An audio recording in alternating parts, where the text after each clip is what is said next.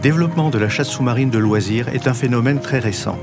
Son apparition date seulement du milieu du XXe siècle.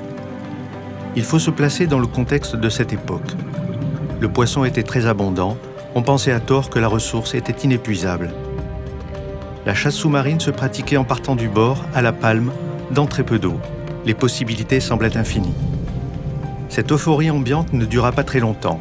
Les pionniers se rendirent compte que le poisson devenait de plus en plus méfiant, plus distant et plus fuyant sur les zones qu'ils exploitaient régulièrement. Le poisson qui avait rencontré le chasseur sous-marin savait désormais qu'il avait affaire à un super prédateur inconnu jusqu'à maintenant.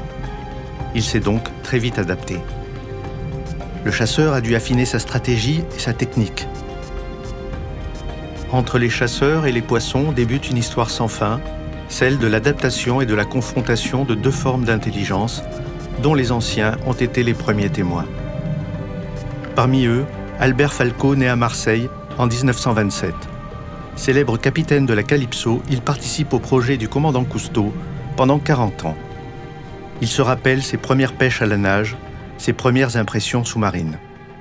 J'apercevais le, bleu de la mer qui m'a tout de suite attiré dès mon jeune âge, je veux dire l'âge de 5-6 ans. Un peu plus tard, au, début de la guerre, dans les années 40, alors j'ai connu le fameux Georges Bechat à Marseille. Et comme il voyait que je m'intéressais à la mer, il venait souvent me voir. Georges m'a prêté ses premières lunettes.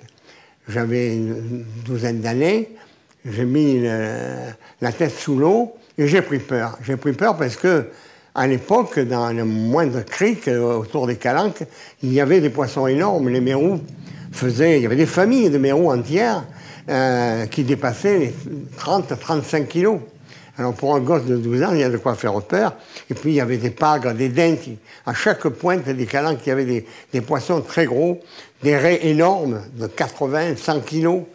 Euh, de quoi faire peur. Bon, néanmoins, euh, petit à petit, en suivant Georges, j'ai appris à, connaître cette mer et j'ai commencé la pêche sous-marine, euh, qui était la bienvenue. À l'époque, euh, c'était la guerre, on avait faim. Dans les années 50, la chasse sous-marine connaît un engouement formidable. Les chasseurs sous-marins sont de véritables héros dont les aventures et les exploits sportifs remplissent régulièrement les colonnes des journaux. La compétition permet aux plus valeureux de se faire un nom et de porter les couleurs de la France au plus haut niveau mondial. Parmi eux, Tony Salvatori, né en Corse en 1927. Triple champion de France, puis champion du monde en 1963, il découvre la chasse sous-marine après une blessure au genou qui l'éloigne des terrains de basket, où il évoluait déjà à haut niveau. Je me suis mis dans l'eau pour rééduquer mon genou. Et j'ai commencé à palmer là dans l'eau. Et c'est là que j'ai, découvert le monde sous-marin comme ça, quoi. C'était presque par hasard, quoi, en faisant de la rééducation. Effectivement, ça grouillait, ça grouillait. Quand on tirait un coup de fusil, il n'était pas rare de prendre deux, trois, des triplés, même des quadruplés des fois. Tellement les poissons, ils étaient comme ça, les uns derrière les autres. Et alors là, le virus m'a pris définitivement, quoi les, poissons, à l'époque, ne connaissaient pas l'homme et ils nous laissaient approcher de très près. Et puis, euh, leur secours était, dès qu'il y avait une pierre, de passer dessous. Quand il était effrayé, le poisson, il se mettait à trou et on allait le cueillir, c'est le cas de le dire, on le cueillait, quoi. Hein, bon. Et puis, il a, il a compris assez rapidement qu'à trou, il ne fallait pas rentrer. La liche, par exemple, la grosse liche qui a plus, c'est fini, on n'en voit plus ici à Marseille euh, c'est un poisson très courageux qui venait, qui vous tournait autour. C'était un balai de, de liches incroyable. Au mois de juillet, elles arrivaient par troupeau. Et un, et un troupeau de liches, on dirait un train de chemin de fer qui passe à côté là. Le bruit que ça fait quand elle démarre, c'est incroyable, c'est impressionnant. Impressionnant. Euh, bon, il n'y avait qu'à tirer, mais Seulement, c'était un poisson très solide et souvent on le perdait parce qu'il tirait tellement sur le harpon. Toujours pareil, victime de leur, de leur curiosité. Hein. Les premières, on les tirait du bateau.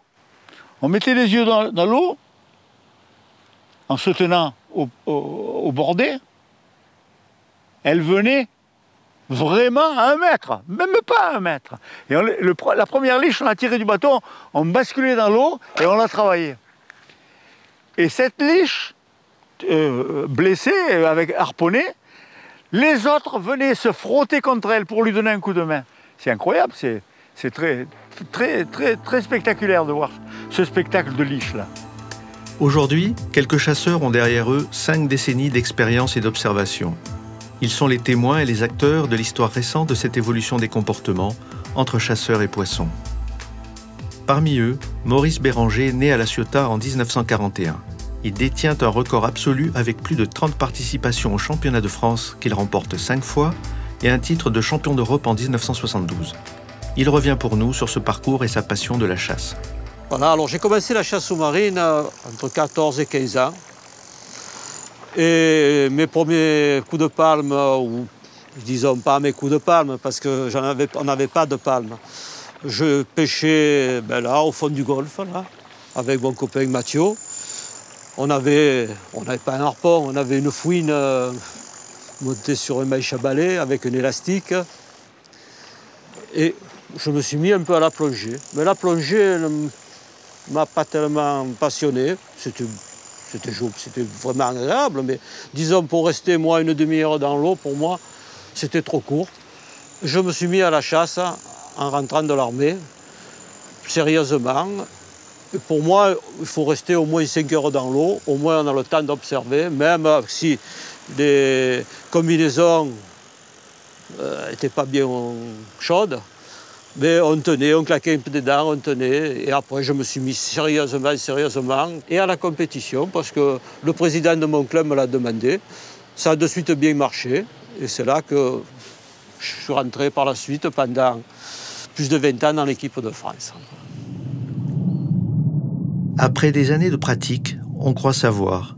Et pourtant, le poisson nous surprend et nous échappe encore. Il nous oblige à nous remettre en question perpétuellement. Jean-Baptiste Esclapez, né en 1944 à Oran en Algérie, s'est forgé l'un des plus beaux palmarès de la discipline. Triple champion de France, champion d'Europe et champion du monde en 1975. Aujourd'hui, après des dizaines de milliers d'heures passées sous la mer, il fait le constat. Le constat que l'on peut faire actuellement sur l'évolution des poissons par rapport à l'homme pêcheur sous-marin, c'est le même que j'ai pu faire il y a un certain nombre d'années. En 1952, j'avais 8 ans, lorsque j'ai eu mon premier masque et que je suis allé dans l'eau, eh bien les poissons avaient déjà peur de l'homme. Dès que l'intrusion de l'homme s'est fait assez concrète et assez, assez fréquente, le poisson s'y est adapté euh, parce que c'était le seul moyen de survivre. Seuls ont survécu ceux qui se sont adaptés. Et sans arbalète, le poisson va approcher. Au moment où on va monter dans le bateau, chercher la balette et se remettre dans l'eau, le comportement ne sera pas le même. Hein. C'est sûr et certain, ça, ça c'est... L'un des secrets qui m'avait été transmis par un ancien pêcheur sous-marin était le fait de toujours, dans l'eau, regarder très loin, à la limite de la visibilité. Et chaque fois que je me promenais sur les pierres de la chèvre, je voyais des poissons très très loin. Tous ceux qui regardent sous eux ne voient rien parce que le poisson a compris que le bruit des palmes, ça signifie un danger et il se maintient toujours hors de portée et quelquefois souvent hors de vue du pêcheur sous-marin les yeux de l'homme doivent balancer des éclairs meurtriers, hein, certainement. J'ai l'impression que les yeux, c'est net. Quand euh, on est caché derrière un rocher, qu'on fait un agachon et qu'on voit le poisson arriver et qu'à un moment il s'arrête, donc il a, il a compris qu'il y a du danger. C'est différent. Hein. Quand on approche des poissons en, scaphandre, par exemple, pour les photographier, ou si euh, je le vois quelquefois, quelqu'un arrive avec un harpon, tout à fait différent. Le poisson a peur, disparaît. Il a une mémoire, le poisson. Je pense sincèrement que le poisson arrive à sentir le danger ou la méchanceté à travers le regard. C'est pour ça qu'on fait des verres un peu teintés, comme ça, qui permettent d'éviter que le poisson ne saisisse la lueur de méchanceté du regard. Il m'est arrivé des dizaines de fois d'avoir l'arbalète pointée sur un petit loup d'un kilo qui était de face et qui ne bougeait pas.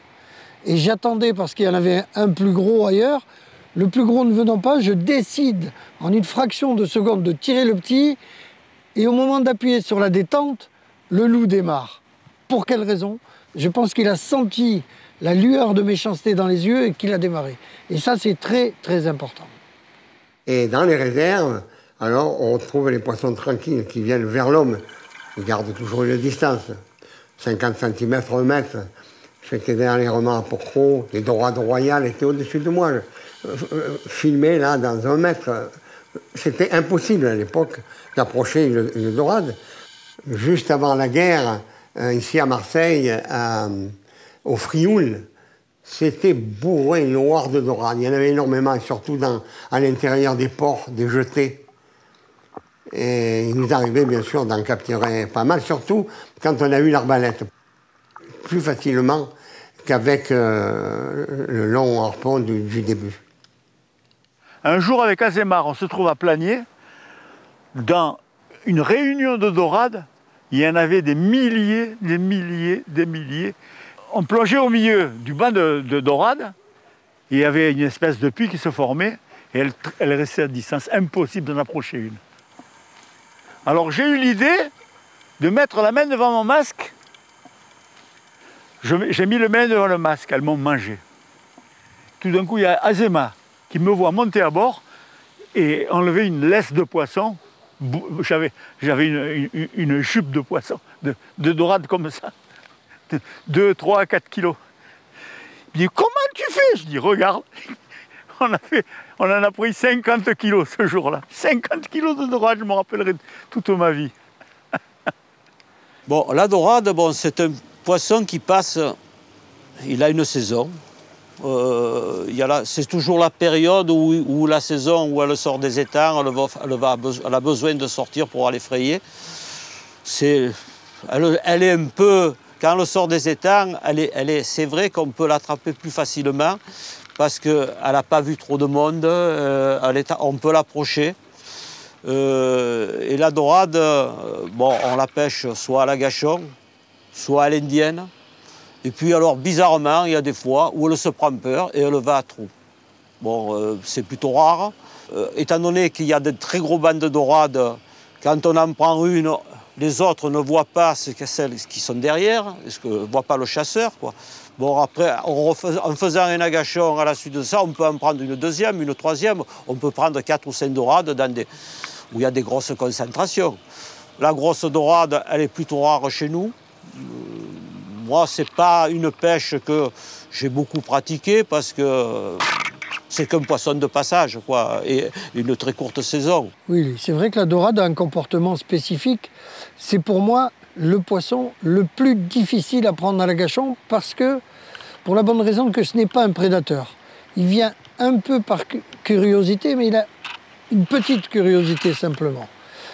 Et on arrive des fois à attiser sa curiosité en se cachant aussi, un peu comme le denti, mais elle est beaucoup plus difficile à attraper. On peut faire des beaux cartons à l'époque où elle fraye sur les fonds de gravier. En Bretagne, ça se fait du côté de Belle-Île, du côté des Glénans on voit les, trous où elles viennent se frotter, on se met dedans, on fait un peu de poussière et on reste immobile et là elles s'approchent.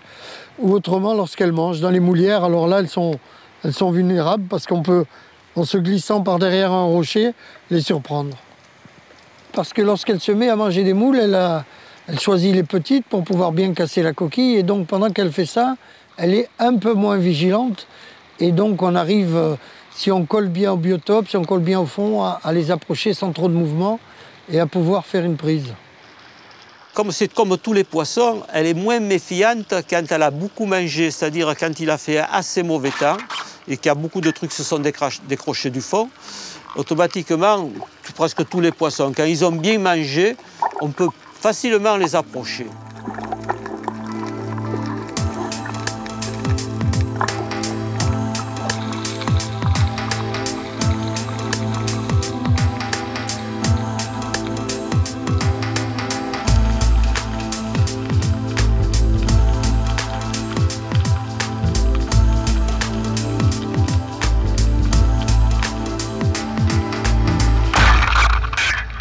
comme le poisson est devenu méfiant et descendu plus profond, il a fallu, euh, heureusement que le, matériel a progressé.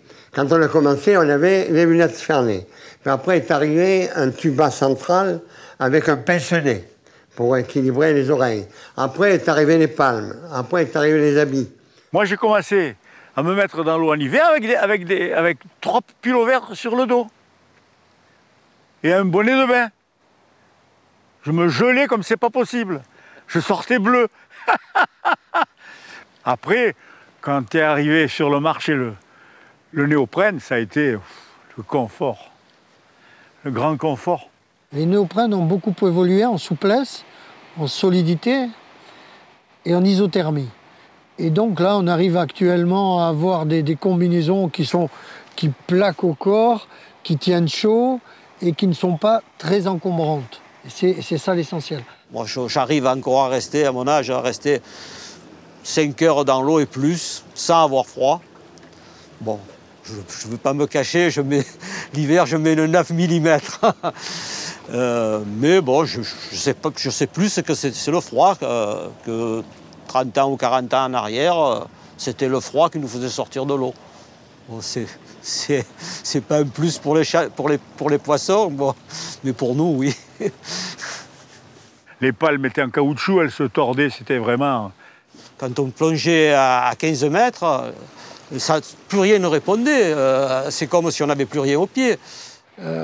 Je pense qu'une des plus grosses euh, innovations au niveau de la palme, ça a été la palme à voilure rapportée qui a été créée en 1976. Ah ben c'est Hugues Dessau qui a, qui, a, conçu et réalisé la palme en, longue d'abord et en plastique ensuite, qui a, laissé très loin derrière les, palmes en caoutchouc, euh, euh, tellement élastiques que tu avais l'impression d'avoir un embrayage qui patinait au fond.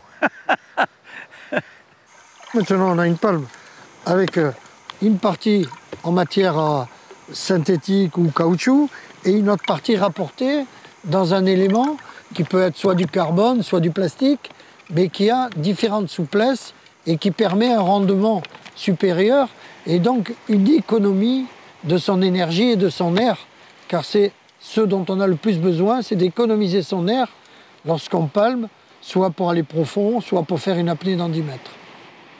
Et puis on a sauté au carbone. Moi j'ai 70 ans, mais ça m'a fait revivre, ça m'a fait euh, gagner, ça m'a fait prolonger. Euh, la, plongée, bon, disons que maintenant, quand je plonge à 20 mètres, mais je ne serais pas capable, si je n'avais pas des palmes en carbone, de plonger dans 20 mètres d'eau. Le matériel a énormément évolué. les, sandos, c'était, ça répondait plus. Quand euh, il y avait une dizaine de mètres ou 15 mètres d'eau, c'était, la flèche sortait à, peine du bout du fusil. Pour être performant, pour tirer un poisson un peu loin, pour tirer un poisson qui soit un peu gros, il faut une très bonne arbalète, qui soit maniable, qui soit solide et qui ait de la puissance. On peut mettre deux, paires de sandos, on peut mettre un sando rapide, deux sandos rapides, voire plus. Donc ce qui permet d'avoir une puissance supérieure à ce qu'on faisait avant. Les Américains sont très forts pour ça. On peut tirer un poisson jusqu'à 4-5 mètres maintenant avec ces nouveaux fusils. La maniabilité, c'est-à-dire pouvoir mouvoir une arbalète dans l'eau sans avoir un maximum de résistance. Il suffit de comprendre, lorsqu'on a une feuille de papier que l'on bouge latéralement dans l'eau ou une palme, elle a une prise terrible. Le même volume, lorsqu'on le bouge latéralement face au courant, on le bouge très très facilement. Donc on a progressé, on a été beaucoup plus rapide. Donc euh, les poissons sont descendus et bien l'homme euh, a commencé à descendre, descendre, descendre de plus en plus profond pour retrouver les poissons que nous avions euh, à la surface.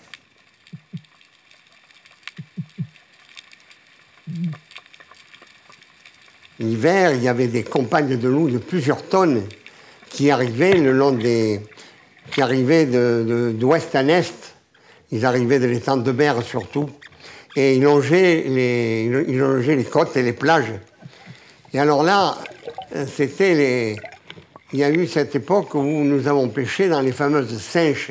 Les pêcheurs prenaient des tonnes et des tonnes de loups et de dorades, ils cernaient avec des, grands filets, puis euh, ils diminuaient un filet après l'autre, ils arrivaient à, avoir les, poissons dans une espèce de chambre de mort qui relevait des tonnes de loups. Alors nous, on en profitait, c'était à la Pointe Rouge ça, on en profitait de se mettre autour des filets, mais quand ces poissons étaient paniqués, le moindre petite roche, même s'il mettait que la tête, il le mettait dessous, euh, pris de, panique. Et on a fait énormément de, pêche de, loups et de dorades comme ça, dans ces fameuses singes. Il n'avait pas compris que il était mort. Depuis, il a compris. Depuis, eh ben, il entend le bruit d'une paire de palmes dans l'eau, il s'en va. C'est pire maintenant. Ce qu'il ressent le plus, ce sont les vibrations. Donc, on le constate avec les, vibrations des palmes. Lorsqu'on pêche d'un peu d'eau et lorsqu'on palme en faisant du bruit, le poisson s'en va, c'est clair. Ensuite, quand on est au fond et que l'on palme un peu rapidement, le poisson démarre. Ensuite, lorsqu'il y a un brin de courant et que l'on bouge latéralement l'arbalète, la vibration de la flèche et de l'arbalète dérange le poisson et il dégage. Et, donc, il est très très sensible à ça. Mais en tout cas, ce qu'il y avait pour les loups, c'est que les loups étaient très curieux. Quand on arrivait dans un banc de loups, eh il y avait toujours deux, trois, quatre qui se détachaient et qui venaient se présenter hein, pour regarder le pêcheur sous-marin. Euh, petit à petit, ils ont compris, ils se sont éloignés. Mais au début, c'était ça. Moi, je ne savais pas ce que c'était la gachon jusqu'à ce que Tony Salvatori m'apprenne dans la région de Marseille euh, comment on pêche le loup. On pêchait la gachon, c'est-à-dire que tu te planques au fond, et puis les poissons qui, sont victimes de leur curiosité, particulièrement les loups et les dorades, les dorades c'est un peu plus difficile quand même, mais les loups, ils viennent, ils te mangent. Hein. S'il y, a 100 kilos de loups, ils viennent les, 100 kilos autour de toi. Hein. L'agachon, en fait, c'est un terme qui voulait dire un, poste un poste pour les canards, où les gars se postaient et restaient là à attendre. Et en fait, un agachon, c'est lorsqu'on descend silencieusement, qu'on se poste au fond et qu'on observe. Mais de nos jours, on ne peut plus faire les agachons comme avant. Avant, on descendait, on se plantait au fond et on faisait un agachon. Ça marche, mais ça marche moins bien. Il faut se dire que lorsqu'on pénètre la masse liquide en allant jusqu'au fond, on crée des perturbations. Et donc, alentour, tout a été perturbé. Moi, ce que je préconise, c'est en fonction de l'endroit où on veut aller faire l'agachon, se glisser silencieusement, coller au biotope et ensuite se diriger en se hissant sur les pierres vers l'endroit où on va. Ce qui fait qu'on va quitter cette zone que l'on a perturbée et on va se mettre à la limite d'une zone qui est plus tranquille. Et c'est là où on a 100 fois plus de chances d'observer un poisson et éventuellement de pouvoir le, sélectionner. Maintenant, ça n'a plus rien à voir. Il faut, se, il faut se cacher. Bien souvent, selon le temps, il faut pêcher à l'indienne, il faut le long des rochers. Euh, à la gachon, euh, il y a des jours où on, les appelle, ils viennent, ils, viennent, euh, il faut, les prendre quand même à, 3 ou 4 mètres, si c'est pas plus, quoi. À une époque, j'avais un gant bleu clair, gris clair, et quand les loups passaient sans me voir, je bougeais un peu le gant et je le cachais et ils arrivaient comme des fous. C'était une petite technique. On peut faire des petits bruits de gorge aussi, mais je trouve que c'est le mieux, c'est de se montrer et de se cacher. Il a changé son comportement, je pense, parce que euh, ils arrivent à faire des grosses pêches de loups, les, professionnels. D'un, c'est qu'il ne se tient plus où on le trouvait avant. Sur les plages, on n'y va pas, parce que bon, il y a des baigneurs, il y a des trucs comme ça, mais bien souvent, entre les baigneurs, on voit des loups. Il y a des loups à 3 ou 4 mètres, ils sentent qu'ils ne sont pas en danger, ils viennent là.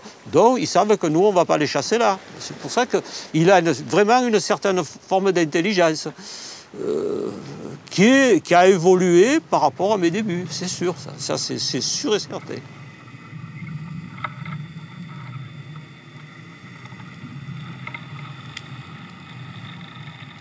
Ils ont une grosse défense par rapport à avant. Moi, je trouve, euh, ce c'est pas les pêches qu'on faisait avant. Si avant, on faisait une pêche d'une dizaine de loups, maintenant, quand euh, moi je vais à la mer, si je prends trois loups, je suis content. Voilà, c'est une belle pêche. Il y a un truc, alors pour le loup, qui est, ça, c'est la gourmandise du loup, c'est le lançon. Mais je me régale autant de voir la chasse de ces poissons que de, de prendre un loup parce que c'est fabuleux. Ces petits poissons, quand ils voient arriver les loups, moi, ils ne me voient pas parce que je suis très bien caché, ils arrivent en groupe. Les loups arrivent en groupe d'un côté et de l'autre, ils frappent dans tous les sens. Des petits poissons qui vivent entre les deux eaux, ils rentrent dans le gravier et on voit Au bout d'un certain temps, on voit que les têtes sortir et regarde si le prédateur est encore là. Mais c'est vraiment, vraiment un spectacle, c'est à voir. C'est là où Bon, la chasse, j'aime énormément la chasse, mais là, c'est vraiment quelque chose, c'est passionnant. Quand il y a des trucs, là, on s'arrête de chasser pour observer. C'est beau, c'est beau. Voilà.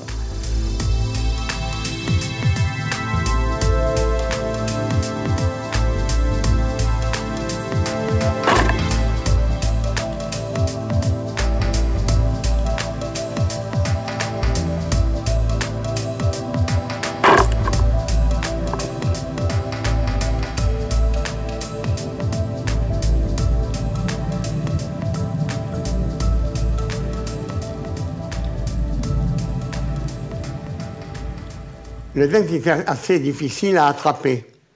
Et il se méfiait. Il approchait 3, 4, 5 mètres. Mais pour ça, pour là, ce n'était pas possible. Le dent, il reste très loin, toujours hors de portée de la flèche. Dès qu'il y avait 20 mètres d'eau, 15 ou 20 mètres d'eau, mais pour chaque pointe dans les calanques, il y avait 10, 15, 20 dents qui tournaient euh, au pied des falaises. Il m'a fallu des années pour comprendre comment il fallait prendre à l'agachon un denti. Alors la seule chose qu'on faisait, c'est que quand on les apercevait et qu'il y avait une roche au fond, on disparaissait derrière la roche et comme ils étaient curieux, ils venaient très près de la roche et nous on sortait, on tirait, les, on tirait les dents comme ça. C'est des, poissons qui allaient euh, d'un kilo à, à 2-3 kilos. Mais il arrivait quelquefois, j'ai vu ça en Corse, que le dent qui était dans des posidonies ou dans des algues faisait comme le mort. Il était, il était sur le fond, il ne bougeait pas. Alors là, bien sûr, c'était facile de le capturer. Quand j'ai commencé à chasser, euh, pratiquement, moi, je ne voyais pas de dentis. Bon, les anciens en voyaient, euh, voyaient pas mal de dentis. Bon, est-ce qu'ils ont disparu euh, pendant une certaine période? C'est qu'à partir des années 80, où on a vu apparaître des petits dentis en grande, grande quantité. Et, maintenant, il y a de très gros dentis. L'explication, je pense que bon, les courants peut-être ont changé, je ne sais pas. Dans les zones où il est chassé, euh, il est de plus en plus difficile à, à faire. Mais ceci dit, comme c'est un prédateur, il reste toujours relativement curieux. Le dentis, c'est un poisson que, au moment où on se met dans l'ombre et caché, on a l'impression que c'est un chien de chasse qui cherche son gibier et il vous approche alors, alors des trucs, ben, c'est, c'est là, c'est vrai que là, c'est, par contre, euh, ils ont guère de chance. par contre, à découvert, le denti, il faut avoir un fusil de, très, grosse, très grande portée et c'est c'est pas gagné, quoi. Il faut être dans une zone d'ombre par rapport à lui, et il faut attirer sa curiosité, et surtout, surtout, ne jamais se montrer. L'idéal étant, au fur et à mesure que le denti arrive, se cacher, se cacher. Et plus il se rapproche, à l'inverse de beaucoup de gens qui tendent l'arbalète vers lui, moi je me cache totalement, je, me masque complètement et je regarde les castagnols après. Et lorsque les castagnols s'écartent, il arrive, il fait comme ça, mais c'est trop tard. Il faut trouver la façon d'atterrir au fond en silence et en immobilité, sans bouger les palmes, sans faire de mouvement. Et par contre, une fois qu'on est au fond, moi je préconise toujours de faire de la poussière. Je fais un peu de poussière et après je m'immobilise. Et là, il vient comme un fou. Mais toujours en étant masqué. Le dentier, en général, quand il vient, c'est parce qu'il n'a pas compris. Il vient, il n'a pas compris ce qui se passe et il s'approche le plus près possible pour comprendre. Donc il faut éviter de lui faire comprendre. Donc c'est pour ça qu'il faut, au fur et à mesure qu'il arrive, se masquer à ses yeux. Donc trouver un endroit où il y a un creux suffisamment grand qui permette de chaque fois, au plus il s'approche, chaque fois descendre, descendre, descendre, s'intégrer le plus à l'élément de façon à ce qu'il ne comprenne pas. Parce que quand il a compris, il fait demi-tour, en une fraction de seconde, on ne peut plus le tirer.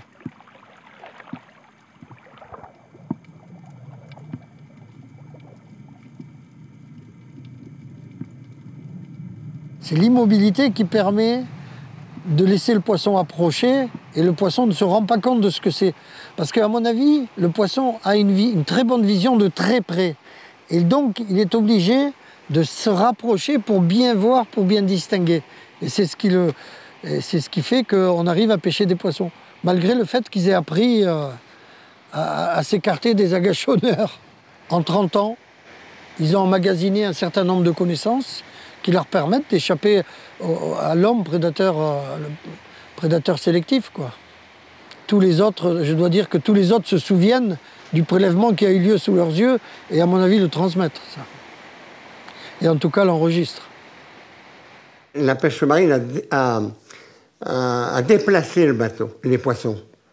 Les poissons vivaient dans peu d'eau, dans des roches de 3, 400 mètres, sous les dalles, partout, où, où les sars, par exemple, se, se reproduisaient.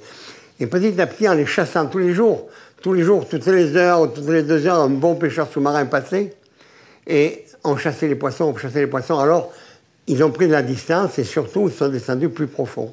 C'est pour ça que maintenant, un pêcheur sous-marin descend à 20-30 mètres pour aller attraper des poissons, alors qu'ils étaient dans 300 mètres d'eau. Étant donné que le chasseur sous-marin a commencé à descendre un peu plus profond par rapport à, mes débuts, euh, on le retrouve, on a tendance à le retrouver plus profond. Bon, surtout la période d'été. La période d'été euh, où il y a énormément de bruit qui sont provoqués par les hélices de bateaux, des trucs comme ça. Il, il se sent plus en sécurité à, des, profondeurs qui dépassent les 25 mètres. Euh, il, est plus, il, il est moins dérangé.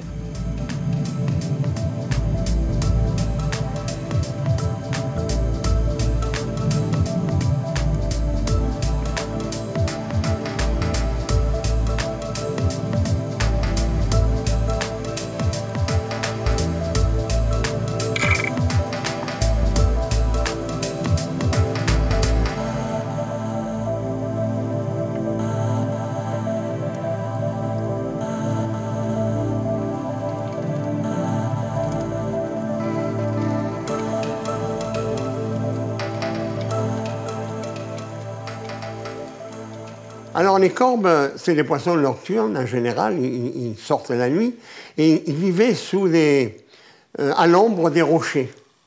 Ce sont des poissons très calmes, un peu comme des poissons chinois, mordorés, magnifiques, et euh, ils y voient très mal le jour. Donc l'approche était très facile et comme ils ne bougeaient presque pas, leur nage était très lente, c'était très, très facile de les, de les capturer. Ça, c'est un poisson qui a un peu souffert du prélèvement des pêcheurs sous-marins parce qu'il est relativement statique et relativement tranquille, quoi, pas très nerveux. Mais il l'a compris. Ceux qui restent, ceux qui ont, sauvé leur peau, euh, dès qu'ils voient un pêcheur sous-marin, sortent de la rague et rentrent dans les Posidonies.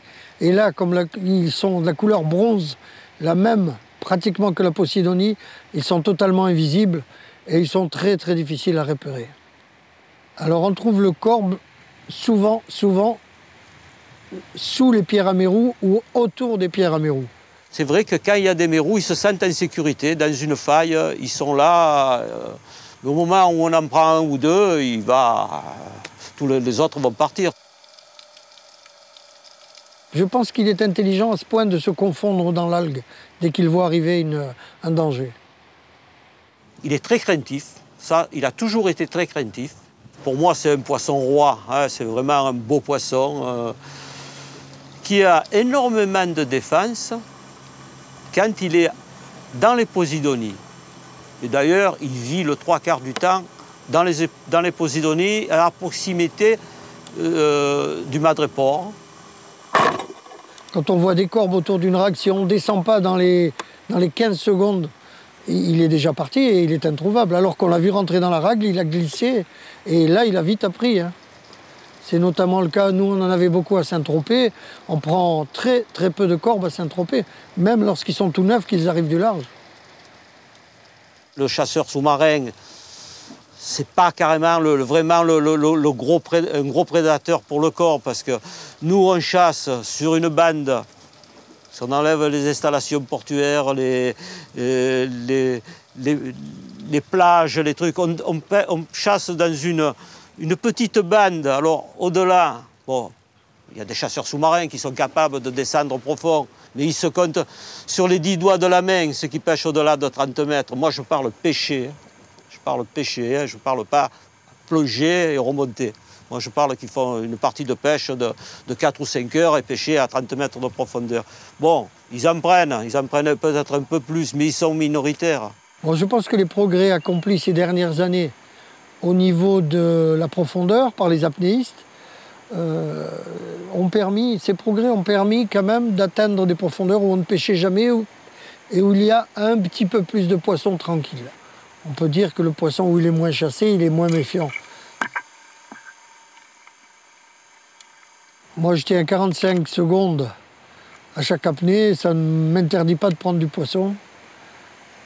Je pense que l'apnée est importante, mais ce n'est pas essentiel. Ce qui est essentiel, c'est l'observation, de savoir où trouver le poisson et où trouver tel ou tel poisson. En fonction des courants, de l'heure de la marée, de l'ensoleillement, de la visie. Il y a tout un tas de facteurs qu'il faut intégrer, être capable d'analyser et après en tirer une synthèse et puis dire voilà, je pense qu'aujourd'hui c'est ici qu'on doit avoir les meilleures chances, mais ce n'est pas forcément une question de profondeur. Mais ce qui révolutionne le plus la chasse sous-marine actuellement, je pense que ce sont les GPS. Parce qu'avant, il, fallait être capable, au milieu de la mer, de prendre des repères pour retourner sur un coin. Alors qu'actuellement, le gars qui trouve une bonne rague, il la note sur son GPS, et pendant toute sa vie, il va retourner sur la même rague. Et c'est pas très bon dans la mesure où on ne sait pas se raisonner.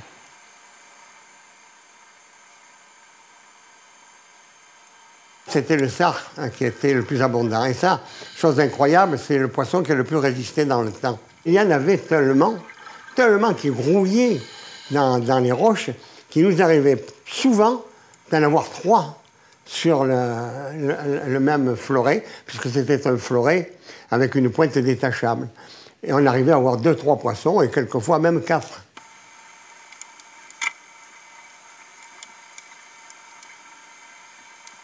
Le sar, c'est un poisson qui a énormément évolué, parce qu'au départ, c'était un poisson qu'on approchait facilement.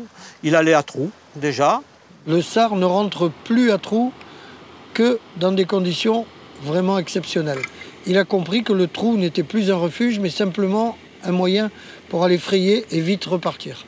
Parce que tous les sars qui avaient l'habitude de rester dans les trous ont été prélevés, et donc il ne reste que les sars qui ont pris l'habitude de rester en pleine eau, et c'est ce qui les sauve, et c'est ce sont ceux-là qui se multiplient, et, donc qui transmettent leurs gènes aux autres, et ils n'entrent plus dans les ragues.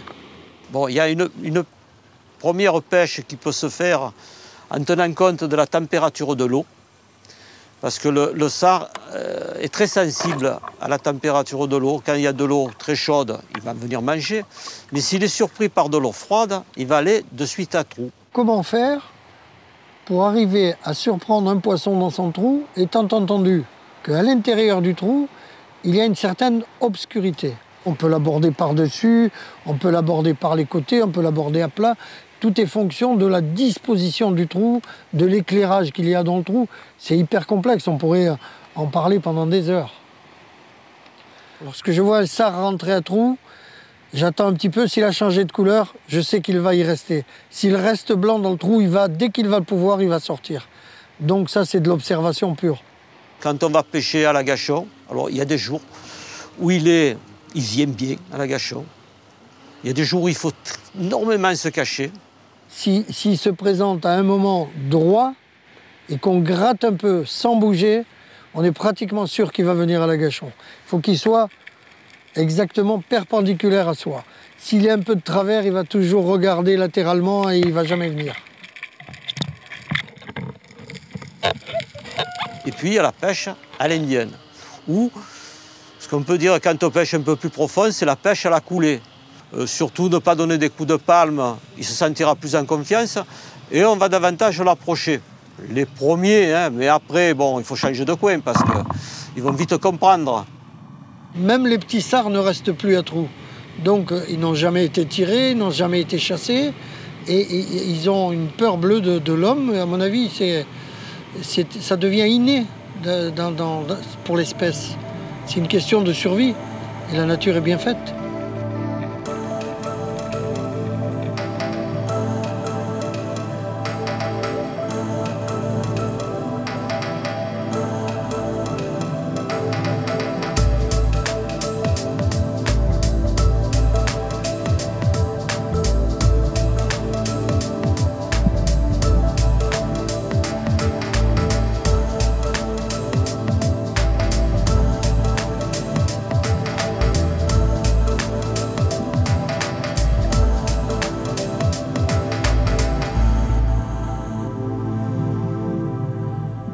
Pour faire plaisir à Georges Bechat, qui a été mon mentor, qui m'a aidé toute ma jeunesse, il était commerçant, donc euh, il allait lancer les, les, concours de pêche sous-marine, à Porcro d'ailleurs, on était allé à Porcro, euh, aux îles Saint-Honorat, à Marseille, à Carie.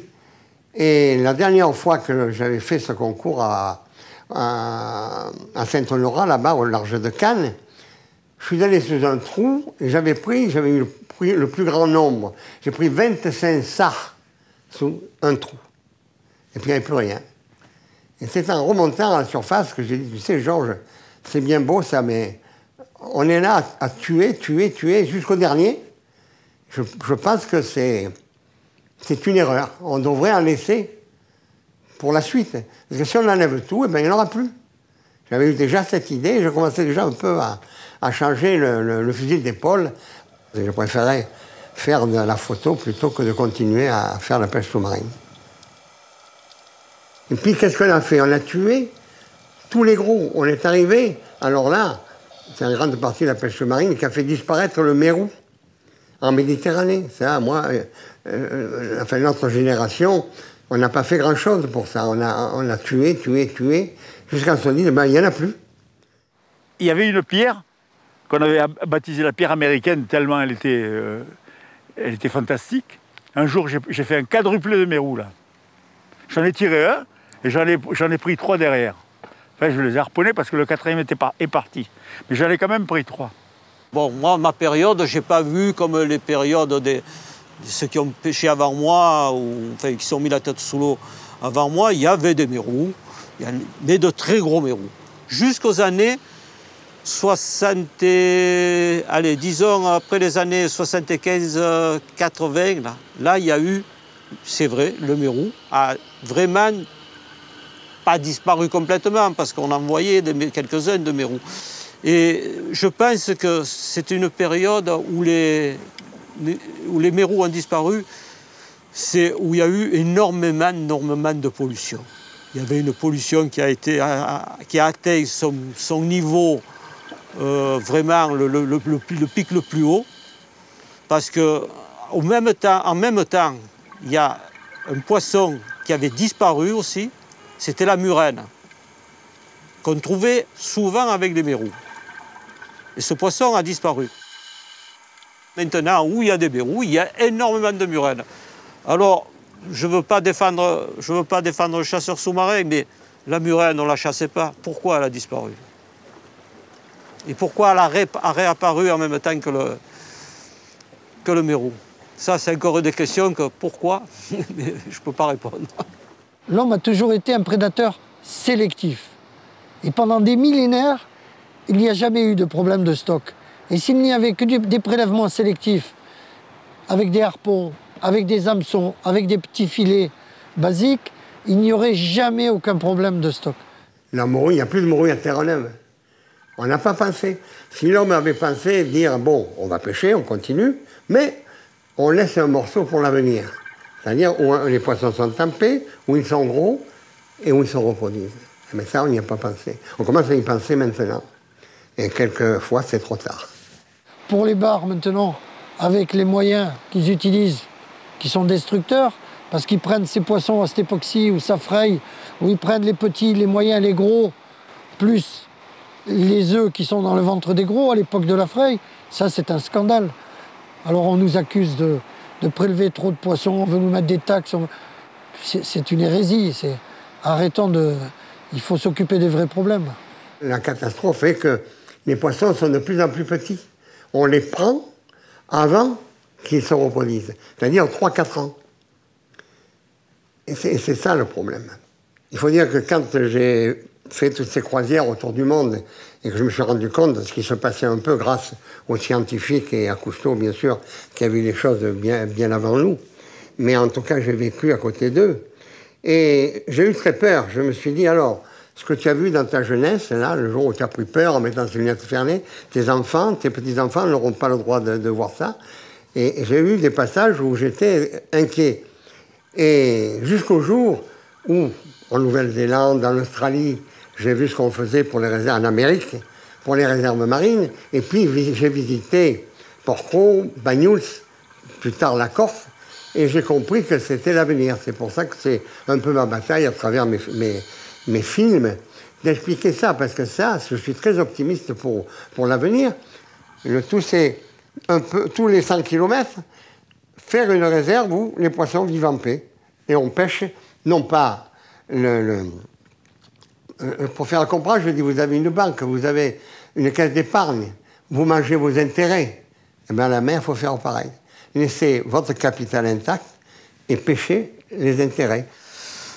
Porcro, c'est quelque chose de fabuleux. C'est beau. C'est à 15 km des côtes.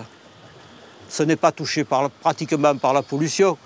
Donc, je pense que une réserve, c'est nécessaire, mais à des endroits où c'est valable de la faire. Des réserves au milieu de, des plus grands égouts de la Méditerranée, je ne suis pas d'accord. Et puis faire tant de côtes, je suis plus d'accord de faire, mettons, un ou deux kilomètres interdits à toute pêche, à toute circulation. Là, c'est de la protection. Il ne faut pas que ce soit très grand. Un, petit site, de, un rocher comme à la Gabinière, par exemple, où il y a 200 mérous à Porcro. Et qu'est-ce qu'il fait? Il fait 300 mètres de long, quoi.